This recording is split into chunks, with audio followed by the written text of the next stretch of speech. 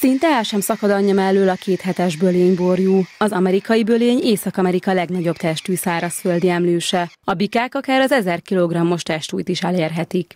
Az amerikai bölények társas állatok egykor hatalmas területeken éltek Észak-Amerikában, egy-egy csorda több százezer egyedet tartalmazott, és több mint 50 millió amerikai bölény élt élőhelyén.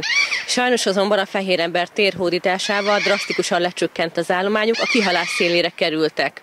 1905-ben szerencsére megalakult egy társaság, az Amerikai Bölényvédelmi Társaság, akik utána elkezdték szépen szaporítani és tenyészteni ezt az állatot, és visszahelyezni a természetbe.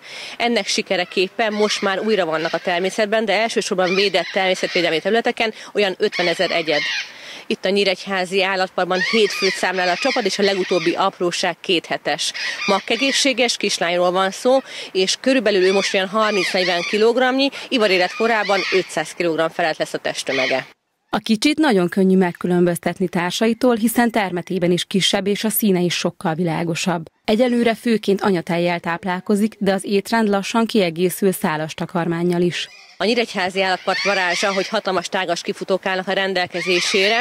Itt pedig itt egy gyönyörű tenyészcsapatunk van, ahol a tavalyi évben és idén is született apróság. Ugye most született két hetes üszőnek sem lesz problémája játszótársat keresni, hiszen féltestvére, aki hímivaró, ő négy hónapra idősebb nála.